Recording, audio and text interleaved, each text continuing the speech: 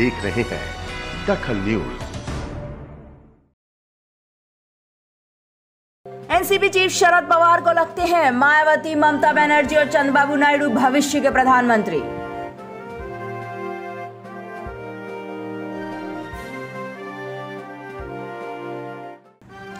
भीषण गर्मी में लोकसभा चुनाव के चौथे चरण का मतदान मध्य प्रदेश में छह सीटों पर वोटिंग। बीएसपी सुप्रीमो मायावती का मोदी पर हमला, कहा मोदी, जनजात पिछड़े वर्ग से नहीं।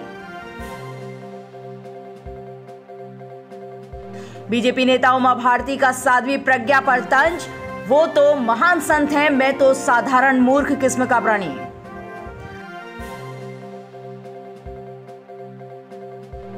और वोटरों को लुभाने में लगे कांग्रेस उम्मीदवार दिग्विजय सिंह अब बनना चाहते हैं बर्रू कट भोपाली।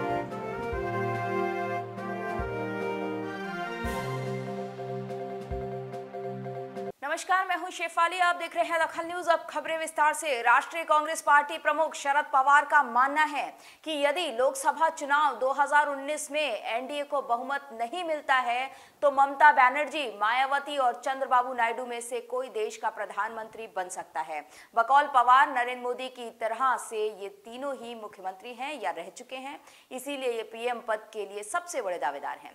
खास बात यह है कि एक टीवी चैनल से चर्चा में शरद पवार ने इस पूरे मामले में कांग्रेस अध्यक्ष राहुल गांधी का ज़िक्र ही नहीं किया। शरद पवार से पूछा गया था कि पीएम पद के लिए आपकी पहली तीन पसंद कौन से नेता हैं? उन्होंने ममता, माया और नायडू के नाम बताते हुए कहा कि इन तीन नेताओं को मुख्यमंत्री के रूप में राज्य चलाने का अनुभव है। यही कारण है कि वे इन तीन नामों पर ज़ोर दे रहे हैं। ममता बनर्जी पश्चिम बंगाल की सीएम है तो चंद्रबाबू नायडू आंध्र प्रदेश के मुख्यमंत्री हैं। वहीं मायावती पूर्व में यूपी की सीएम रह चुकी हैं। पवार ने पीएम उम्मीदवारों की लिस्ट में राहुल का नाम भी नहीं लिया। उसको लेकर उनकी दलील है कि कांग्रेस अध्यक्ष खुद को पीएम पद की दौड़ से अलग कर चुके हैं। कुछ मीडिया रिपोर्ट में पवार के बयान को इस तरह से पेश किया गया है कि उनके मुताबिक ये तीन नेता राहुल से बेहतर पीएम साबित होंगे। हालाँकि पवार ने इसका खंडन किया है। बहुत लोग हैं हमारे पास कौन नहीं है? आज जो हम साथ करते हैं? मायावती जी आ सकती है ममता जी आ सकती है, चंद्रबाबू नायडू जी आ सकते हैं, कितने लोग हैं? इसकी कोई चिंता नहीं। मगर ये सब लोग मुझे ही मिलना चाहिए। ये लाइन लेकर बैठे नहीं। आज वो सब लोग चाहते कि बदलाव। लोकसभा चुनाव के चौथे चरण में नौ राज्यों की इकहत्तर सीटों पर वोटिंग है। इस चरण में कुल नौ उम्मीदवार की किस्मत ईवीएम में कैद हो जाएगी। चौथे चरण में मध्य प्रदेश बिहार, जम्मू, कश्मीर, झारखंड, महाराष्ट्र, ओडिशा, राजस्थान उत्तर प्रदेश और पश्चिम बंगाल की इकहत्तर सीटों पर वोटिंग होगी। अभी इन सीटों में से भाजपा के खाते में 45 सीटें हैं। पिछले चुनाव में इनमें से कांग्रेस मात्र तीन सीटों पर विजय हुई थी। इन इकहत्तर में से सैंतीस सीटें ऐसी हैं जहाँ रेड अलर्ट घोषित है। यानी इन सीटों पर तीन से ज़्यादा प्रत्याशियों ने अपने ऊपर आपराधिक मामलों की घोषणा की है। इस चरण में कुल नौ उम्मीदवार की किस्मत का फैसला होगा। लोकसभा चुनाव के चौथे चरण में मध्य प्रदेश की छह सीटों पर मतदान। सीधी शहडोल, जबलपुर, मंडला, बालाघाट और छिंदवाड़ा लोकसभा सीटों पर मतदान हो रहा है। छिंदवाड़ा से मुख्यमंत्री के बेटे नकुलनाथ, जबलपुर से बीजेपी अध्यक्ष राकेश सिंह और कांग्रेस उम्मीदवार विवेक तनखा, सीधी से अजय सिंह और मंडला से फग्गन सिंह कुलस्ते का भविष्य ईवीएम में कैद होगा। सभी मुख्यालयों पर रविवार सुबह मतदान टीमें मतदान सामग्री लेकर पहुँच गई थी। कई मतदान केंद्रों पर जब चुनाव दल पहुँचा तो लोगों ने फूल माला पहनाकर उनका स्वागत किया ताकि मतदान शांतिपूर्ण और निष्पक्ष रूप से हो सके। जबलपुर से बीजेपी अध्यक्ष राकेश सिंह और कांग्रेस के विवेक तनखा के बीच मुकाबला है। सीधी में कांग्रेस के अजय सिंह और बीजेपी की रीति पाठक मंडला में बीजेपी के फग्गन सिंह कुलस्ते और कांग्रेस के कमल सिंह बरावी। बालाघाट में बीजेपी के ढाल सिंह बिसेन और कांग्रेस के मधु भगत। छिंदवाड़ा में कांग्रेस के नकुलनाथ और बीजेपी के नथन शाह। और शहडोल शहडोल बीजेपी की हिमांद्री सिंह और कांग्रेस की प्रमिला सिंह के बीच मुकाबला है। छिंदवाड़ा विधानसभा चुनाव में मुख्यमंत्री कमलनाथ के मुकाबले बीजेपी के विवेक साहू मैदान में है। समय ब्रेक का है। ब्रेक के बाद जल्द हाजिर होंगे। आप देखते रहिए दखल न्यूज़।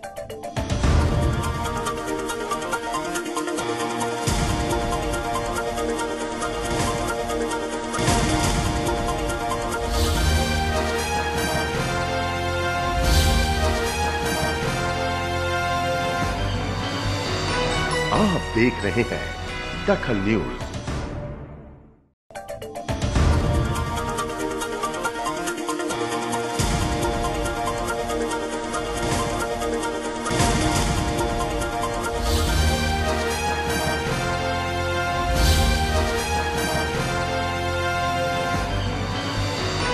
आप देख रहे हैं दखल न्यूज़।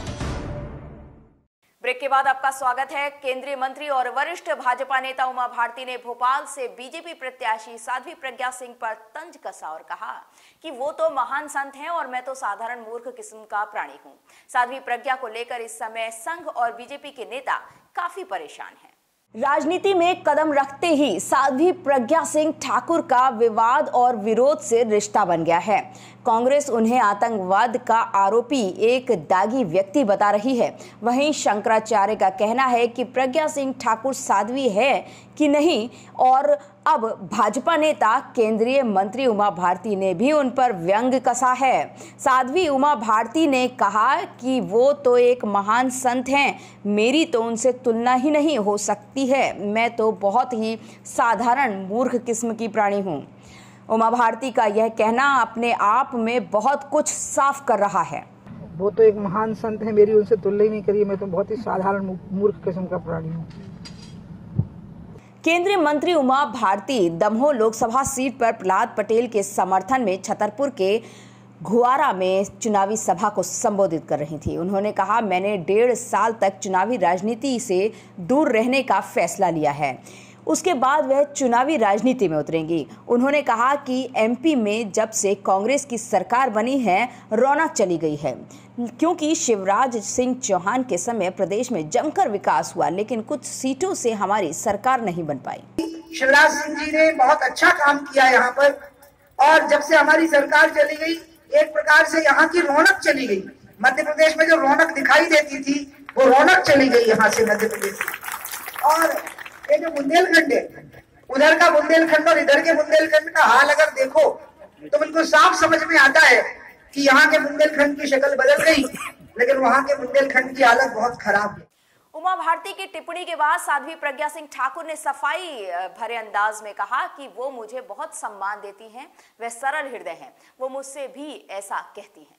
अपने बयानों से बीजेपी की किरकिरी करवाने के बाद बीजेपी उम्मीदवार साध्वी प्रज्ञा अब सबको साधने की कोशिश में है। बीजेपी की वरिष्ठ नेता उमा भारती की उन पर टिप्पणी के बाद साध्वी प्रज्ञा बहुत नपे तुले अंदाज में सामने आई। साध्वी प्रज्ञा ने कहा, उमा भारती मेरा बहुत सम्मान करती हैं, वह सरल हृदय की हैं। वो दीदी मुझे बहुत सम्मान देती है उनके मन में मेरे लिए बहुत अच्छा स्थान है और वो मुझसे भी ऐसा बोलती है तो मैं उनसे कहती दीदी आप बड़े हैं आप मुझे इतना सम्मान क्यों दे रही बेटा बहुत सरल हृदय है। रीवा में बासपा सुप्रीमो मायावती ने बीजेपी पर और कांग्रेस पर जमकर निशाना साधा। मायावती ने पीएम मोदी को आड़े हाथों लेते हुए कहा कि मोदी जन्मजात पिछड़े वर्ग से नहीं है।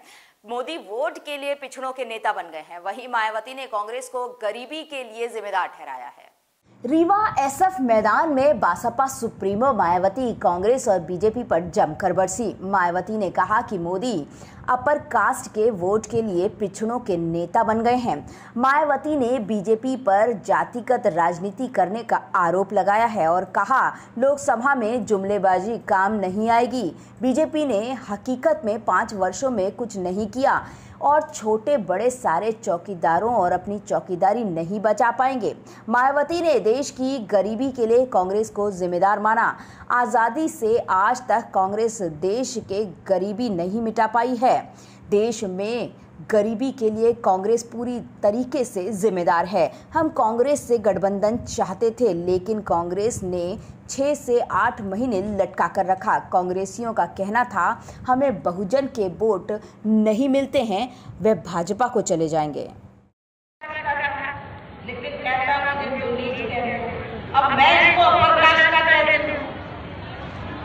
इसको मतलब ये अपर को नीच मानने लगे इसका मतलब तो यही हो गया कि इनकी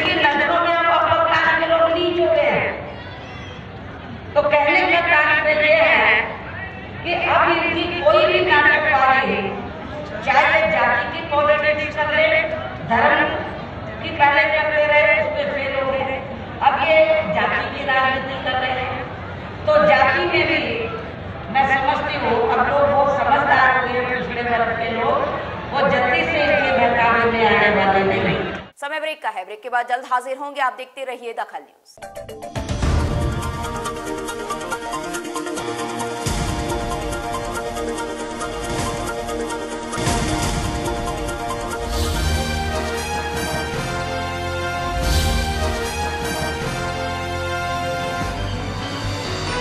आप देख रहे हैं दखल न्यूज़।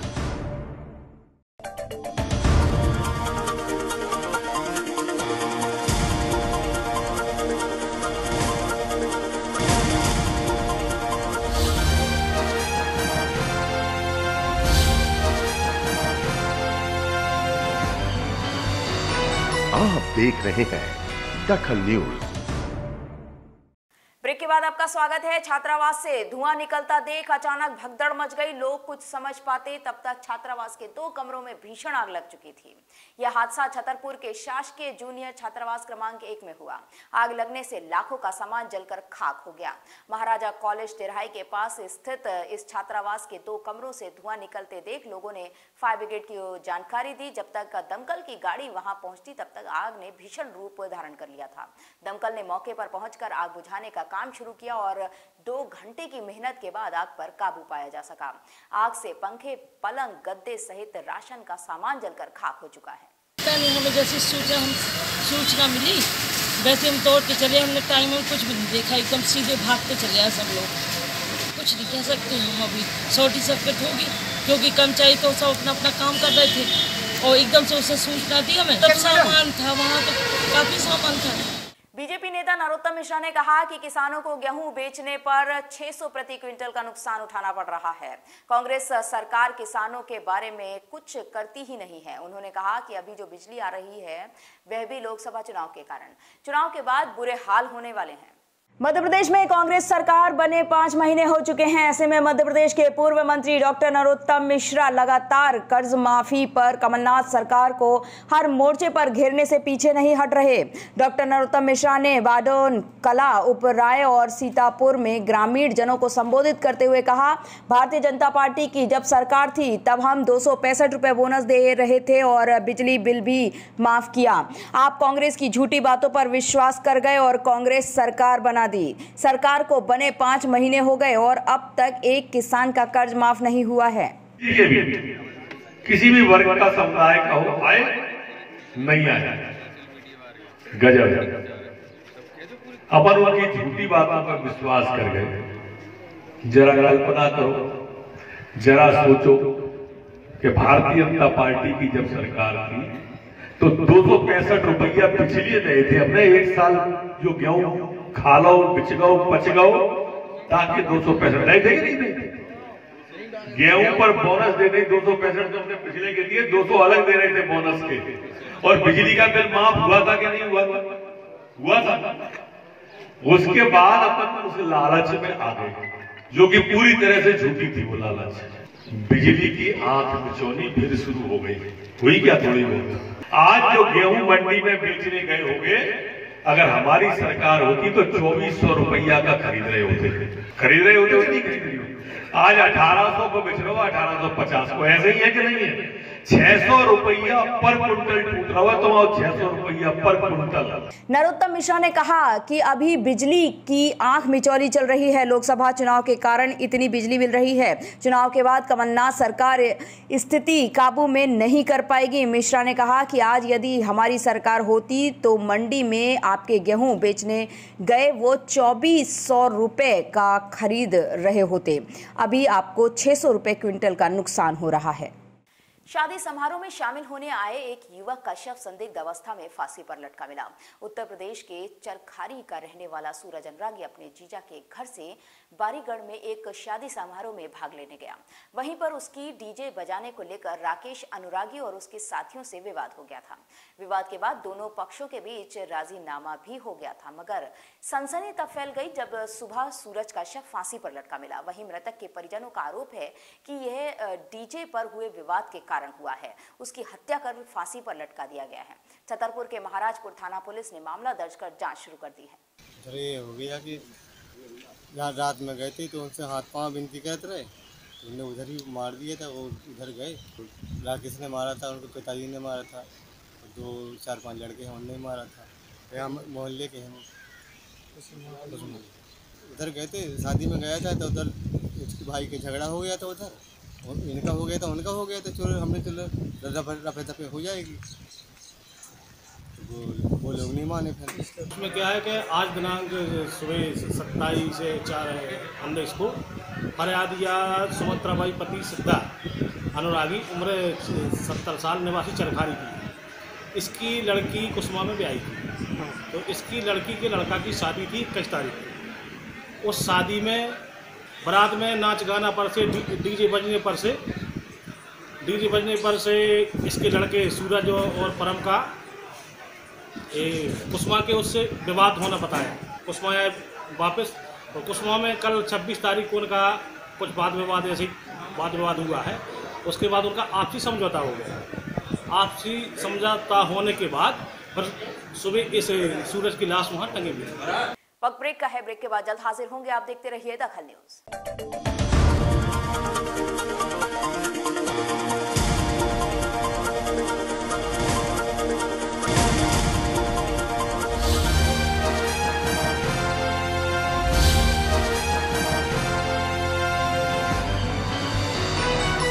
देख रहे हैं दखल न्यूज़।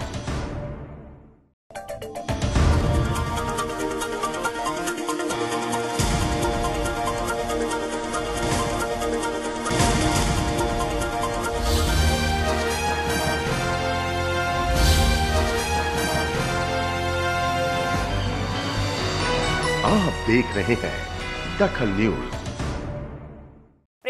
आपका स्वागत है। गर्मियों की अभी शुरुआत ही है, मगर तापमान जिस्म को झुलसा देने वाला है। मध्य प्रदेश की राजधानी भोपाल में अधिकतम तापमान 42 डिग्री के पार जा चुका है। मौसम विभाग की माने तो पारा अभी और ऊपर जा सकता है। ऐसे में आगजनी के हादसे और घटनाएँ रोज बढ़ती जा रही हैं। बैरसिया रोड सीआईएई नवी बाग में बड़े हुए तापमान के कारण एक कार में अचानक आग लग गई और देखते ही देखते पूरी कार को आग ने अपनी चपेट में ले लिया। मौके पर पहुँची दमकल की टीम ने भारी मशक्कत के बाद आग पर काबू पाया। अब खबर छत्तीसगढ़ के महासमुंद से, जहाँ एक चलते ट्रेलर में भीषण आग लग गई। गर्मी के कारण ट्रेलर का डीजल टंकी फटने से यह हादसा हुआ। आग में ट्रेलर पूरी तरह जलकर खाक हो गया। आग लगते ही ड्राइवर और क्लीनर ने ट्रेलर से कूदकर अपनी जान बचाई। भीषण गर्मी के कारण नेशनल हाईवे तिरपन में कोडार के पास ट्रेलर में अचानक आग की लपटें उठी। आग लगते ही ड्राइवर और क्लीनर तुरंत ट्रेलर से कूद गए। इसी दौरान ट्रेलर के डीजल टैंक में विस्फोट हुआ और पूरे ट्रेलर में आग पकड़ ली। घटना की जानकारी मिलते ही तुम गाँव थाना क्षेत्र की पुलिस मौके पर पहुँची। ट्रेलर ओडिशा से संबलपुर से लोहा लेकर रायपुर की तरफ़ आ रहा था। इसी दौरान ये हादसा हो गया। तुम गाँव पुलिस और फायर ब्रिगेड की टीम ने मौके पर पहुँचा और आग बुझाई। आग में ट्रेलर पूरी तरह जलकर खाक हो गया। लोकसभा चुनाव में मतदान होना है। ऐसे में सिंगरौली ज़िले की सियासत एक बार फिर गरमाई हुई है। अभी तक नोट और दारू बांटकर वोट मांगे जाते थे, लेकिन इस बार तो हद तब हो गई जब चितरंगी विधानसभा के ग्राम धरौली में कुछ दबंग लोगों ने आदिवासियों के घर जाकर धमकी दी और कहा कि पंजा पर वोट दो नहीं तो गाँव से निकलना मुश्किल कर देंगे। यहाँ तक कि अब आदिवासियों ने इसका विरोध किया तो उनके साथ दबंगों ने मारपीट करते हुए घर से निकाल दिया। ऐसे में आदिवासी परिवार दबंगों के डर से अपने घर छोड़कर बाहर रह रहे हैं। गाँव के आसपास के इलाकों में छिप कर रह रहे हैं। इस घटना की शिकायत जब आदिवासियों ने चितरंगी थाना में दर्ज कराने गए तो चितरंगी थाना प्रभारी ने मामला कायम करना तो दूर, उनकी शिकायत भी सुनने से इनकार कर दिया। दबंगों की धमकी और मारपीट के डर से डरे सहमे आदिवासियों की सुनवाई जब थाने में नहीं हुई तो अपनी फरियाद पुलिस कप्तान दीपक कुमार शुक्ला को सुनाने पहुँचे। आदिवासियों ने कहा कि हमारा गाँव कुछ दबंगों के चलते काफ़ी परेशान है। आदिवासी इनकी चंगुल में हैं। पीड़ितों ने बताया कि उनके द्वारा हमारे घर के चारों ओर नज़र रखी जाती है। परेशान है छोट छोट बच्चा हम बच्चे ढेला में लेके सुता है रात भर वहाँ ढेला में नहीं रह पावत वहाँ से पहुँचा तो हम पसंद गिरक दिन हम छोड़ के भगा गए लड़का बच्चा हम पसंद के खेल पर जब मन पड़ा तो मारे तक धन निकाले अब हम बच्चे भगा नहीं गल्ला सब ढेला में खेते काम करे चुनाव के बारों में भाई के वोट कांग्रेस के दे अब हम पछे कांग्रेस छोट पार्टी है हम पसंद के जहर पार्टी जाती है कहल जाते। नहीं देते कांग्रेस के मारे ज़रूरत अभी दो मामले मेरे पास आए हैं। कुछ लोग आए थे कि उनके साथ मारपीट की गई है। हालाँकि जब मैंने उनसे पूछा कि मेडिकल कराने की आवश्यकता है या शरीर पे कुछ चोट के जाहिरा निशान है तो उन्होंने इस बात से मना किया कि नहीं साहब, मेडिकल नहीं, ऐसा कोई चोट है नहीं।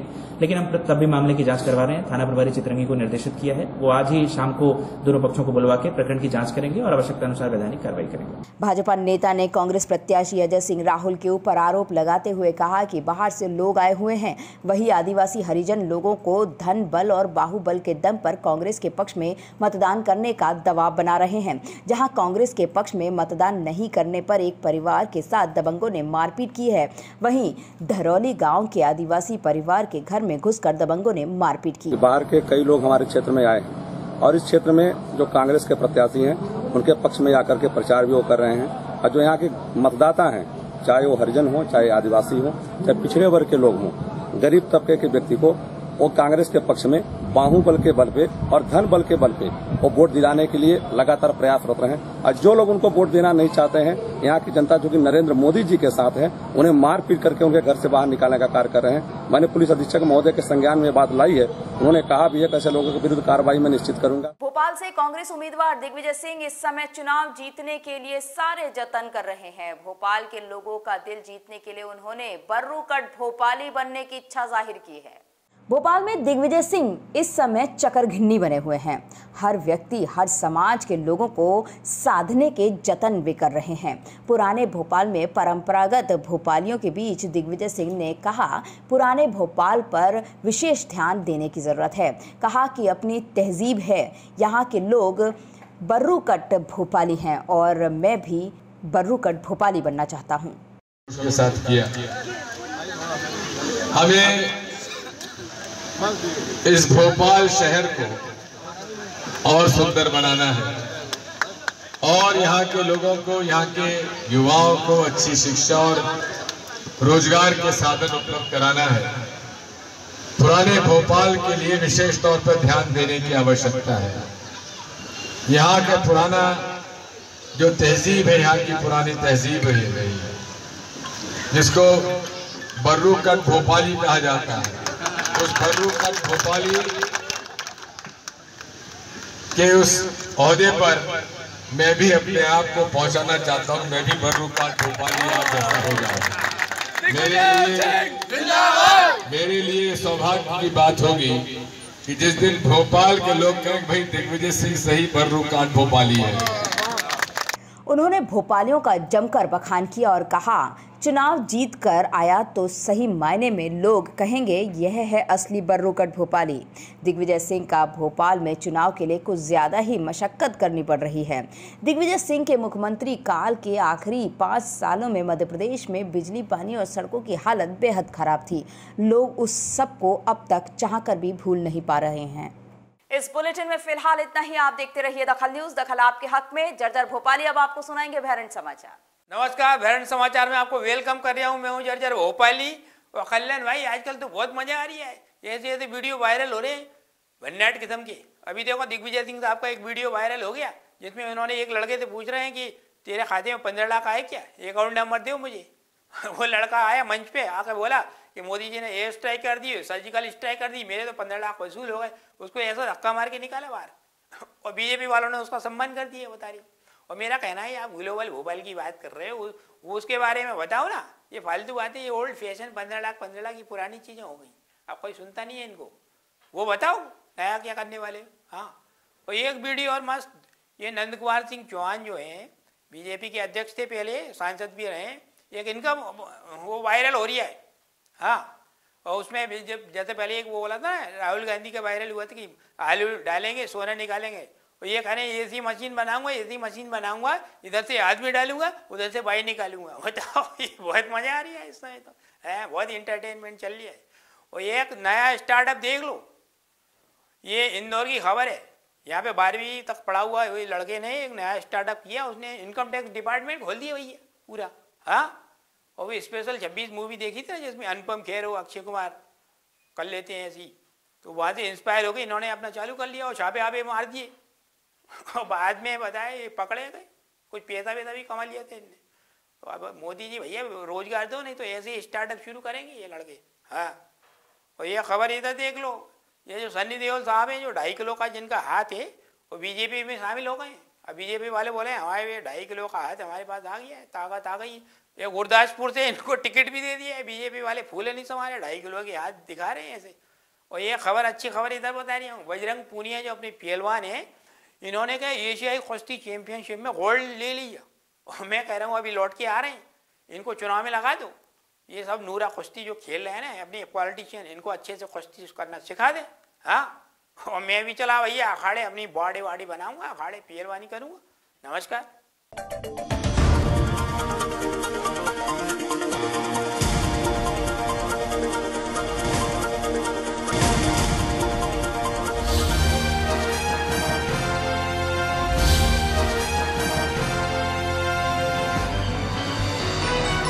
देख रहे हैं दखल न्यूज़।